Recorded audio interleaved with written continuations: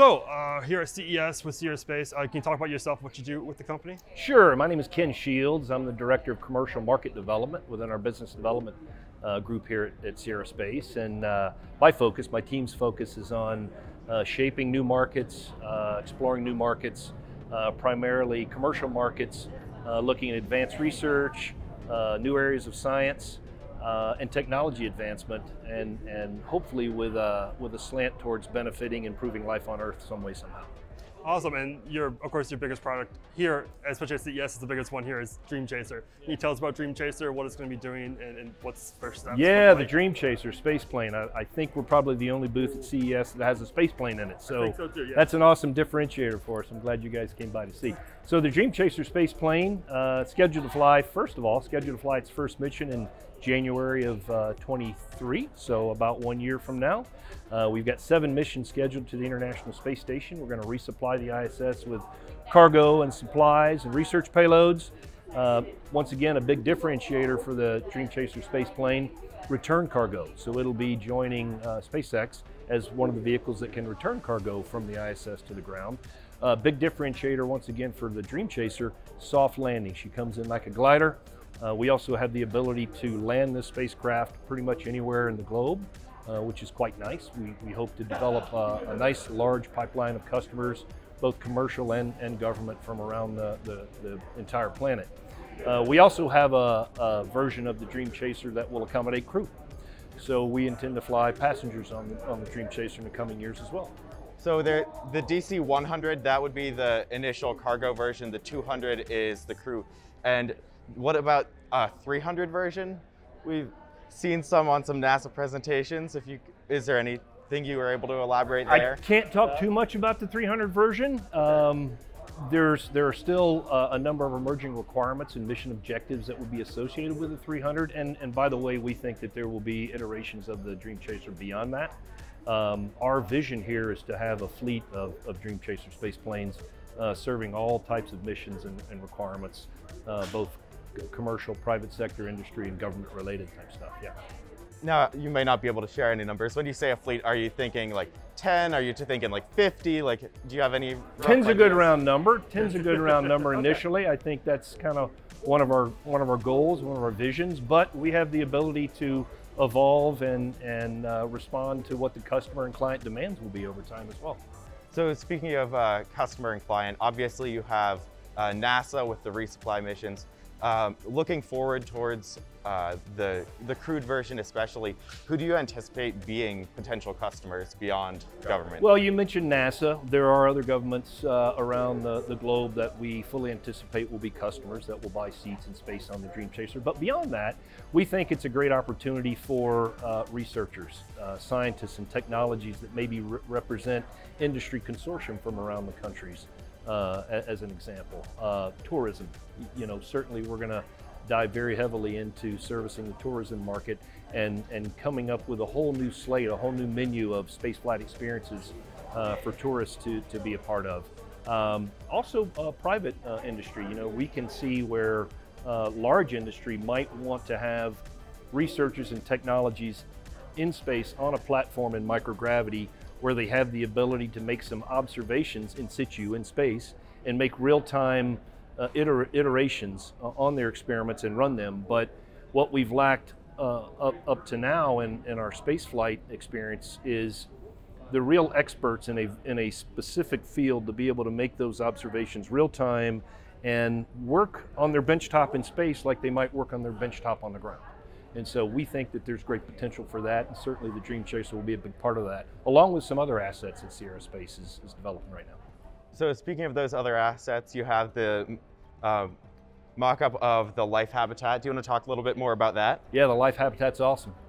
Uh, so life habitat, it's essentially a three-story building uh, that will be in space. So we like to challenge people to uh, come up with ideas, challenge us on, on what you need in the way of technologies and capabilities to have an address in space where you can make movies, do research, advance your technologies. Um, you know, the, the really the ideas are infinite as to what we can do in space. Uh, a little bit about the life habitat, as I said, it's essentially a, a three-story uh, building, if you will. It's a little under 300 uh, cubic meters of, of pressurized internal uh, volume. Uh, it's based on an expandable or an inflatable technology, so we can get that allows us to get this uh, potentially very large volume uh, on a low mass uh, to low Earth orbit to LEO. Uh, this mock-up has gardens, it has workstations, it has sleep stations. Uh, with the with the appropriate ECLSS systems, we can house about 10 people in a life habitat. To give you a sense of what 300 cubic meters is, roughly, it's about one third the size of the current ISS as far as internal volumes, International Space Station. Uh, the life habitat, um, it, it, will be a, a, a major component, a, a, major element of the Orbital Reef Space Station, uh, which we are planning to have its initial operating uh, capability on orbit in the 2026 timeframe, certainly early 2027. It'll be the largest element of the, uh, of the orbital reef. Uh, but what's important about the orbital reef, all of the technologies, the subsystems, everything that, that the life uh, is built upon can also live on surface habitats. So we could see life habitats living on the surface of the moon, uh, surface of the Mars, and in any orbit that you, that you could think of. So a lot of application leverage with this vehicle. Looking towards the orbital reef, can you uh, is there anything more you can provide timeline-wise? If you think like when it first becomes operational, are you, is it that looking at like one life habitat and like? Sure. Uh, so so Orbital Reef, uh, our vision in partnership with Blue Origin on Orbital Reef, it really is a multi-use business park. Um, We'll need to adapt Orbital Reef to have the ability to transition a lot of the activities that we have on the ISS right now, the International Space Station, for NASA and for the partners and for industry that are there now. So that's sort of some of the initial requ requirements that we're considering and capabilities that we'll need to have. But we're also looking to the future, to the next generation of capabilities and technologies to support what we want to do for the next decade in space. So the initial uh, stand-up um, uh, capabilities or, or, configuration of the orbital reef will be the core section, which will provide most of the power, the ECLSS systems, uh, navigation, avionics. It's essentially uh, the power module, if you will. It will have some research capabilities. It'll have some uh, tourism capabilities, but it'll, it'll sort of be the, the guts of the system, so to speak. Then the life habitat will be the largest single element. Uh, once again, about 300 cubic meters. Um, we talked about it, right? The other component that Sierra Space will be bringing to the reef platform is the node, as we call it. So the node will house two berthing uh, ports, also an airlock uh, that we are planning to have uh, EVA capability, which is essentially egress and ingress in, inside and outside for going out and doing spacewalks. Um, the, the initial uh, configuration will also house a mast and a uh, solar array that provides power to the system. So you mentioned the EVA. I know that some people are looking to forward to the possibility of like a tourist EVA on the ISS. So is that uh, thought about as a possibility? Absolutely. I, I, I, think it's a must, but I'm a business development guy, right? okay. Uh, so yeah, I, I, think EVA is is sort of the next thing with the space tourism, uh, and I think it's something we're going to look at real hard. I know we're looking at it right now, uh, and I think it's a real possibility. I think EVA will be a thing. Awesome. Um, I just want to pivot back to Dream Chaser shortly. Can you uh, talk about some of the differences between the cargo and the crew version of Dream Chaser? I know we've seen that uh, potentially the cargo could serve as like an emergency vehicle, like. It, it, it's a possibility. I mean, that would take uh, a whole different iteration of the Dream Chaser to have both capabilities. I'll, I'll, I'll say it like that, but certainly makes sense, right? Um, the cargo version uh, can deliver roughly about 5,500 kilograms of cargo to the ISS, can return about 1,500 kilograms to the ground. Once again, soft landing, so very quick early payload retrieval. Um, I mentioned before, can land pretty much anywhere that, that we can have an appropriate landing facility. Uh, the Crew Dream Chaser, right now, we've got a version that can accommodate up to 10.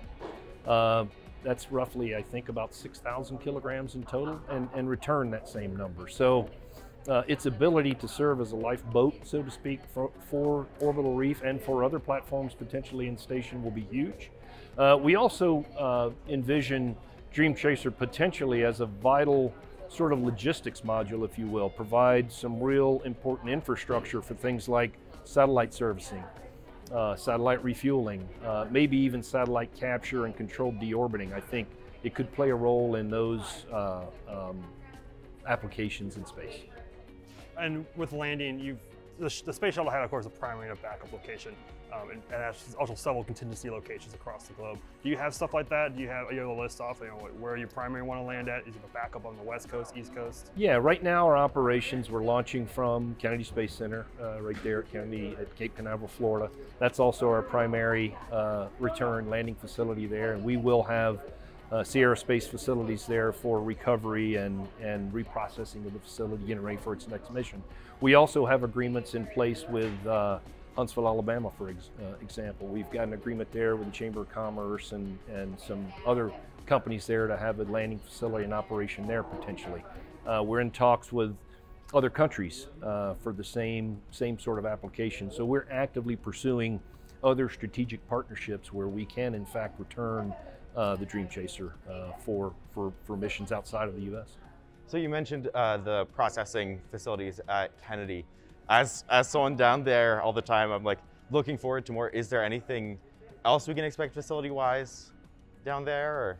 Yeah, certainly. We uh, earlier this year, I believe, we had a press conference. We did. We had a press conference with Space Florida down there, uh, where we announced this partnership to use the old shuttle landing facility. That's where the Dream Chaser will land. Uh, our full anticipation is we will stand up a pretty significant facility there, employ hundreds of people uh, to house that to house the facility and and conduct those operations. It will be fully private, fully commercial endeavor that Sierra Space will be uh, pursuing there. Greg mentioned yesterday about uh, manufacturing on uh, Orbital Reef. What sort of stuff can we see there? So uh, some of the thrust areas we're getting into, some of the market sectors we'll be uh, concentrating on will be in space manufacturing. Uh, things like initially probably research in things like exotic glass, um, new fibers, optical fibers, uh, we're going to be working with different companies and academia, understanding, for instance, the process of uh, thin, thin layer, thin film deposition processes that might, as an example, and this is some real projects going on today, uh, artificial retina uh, production in space right now. That's, that's some work that's occurring right now. We'd like to continue that work, port it over to the orbital reef and the life habitat where we can produce things at scale uh, not just sort of the test kitchen or the proof of concept that, that's existing right now in space. Beyond that, we're going to be working with biopharma uh, for uh, using microgravity to do disease modeling to advance things in drug development and drug formulations, uh, particularly in the area of regenerative medicine, treating things like osteoporosis, things that uh, affect the entire planet, huge populations. Um, but in space assembly and in space manufacturing, and being able to now actually transition from proof of concept and test kitchen to full scale production of something in space, we have the ability to go and do that now with things like the life habitat. So that's that's the plan for us to work very very hard to prospect for those things and to shape and develop those new market opportunities. And you know, you hear at CES, you know, the Consumer Electronics Show. Yeah. You know, very, you're, you're, you stand out here very differently than everyone else. And everyone we've been talking to, you know, kind of like talking about what's the future of your product, what's the future of your industry. Yeah. In space, I've been, I've been giving people the time of like five years. You know, space runs a little bit slower, so maybe about 10 years, something like that. But like, uh, you know, it's been speeding up. You know, what are you looking forward to in the industry, your company as well? You know, what, what's kind of your, your, your hopes and dreams? Well, CES 22, uh, it's, it's, you just described why we're here, right? The, the world is here with all sorts of technologies and they're looking in five and 10 year increments, right? We think that space and we think the environment of microgravity offers um, limitless opportunities for a number of companies, whether you are um, trying to build new super alloys that will withstand high environments, high temperatures to build a better engine block, you know, John Deere tractor maybe. Uh, you are trying to develop the next generation exotic glass to go into every cell phone and every iPad and every laptop there is, maybe doing that through microgravity research is what opens that up. We're here to introduce and enable access to the world to space like has never been there before. We're also here to learn from the world what are the ideas that we're not thinking of, right? What are the ideas that, that you need? And you don't have to figure out how to get to space. You don't have to figure out how to operate in space. Just tell us what you're trying to get out of it. What are you trying to get out of that microgravity environment? What are you trying to get out of exposing uh, your your your materials or your science or your technology to the extreme environments? We'll take care of the rocket science and the engineering. We'll bring you back your data. We'll bring you back your products. That's what we we're trying to accomplish.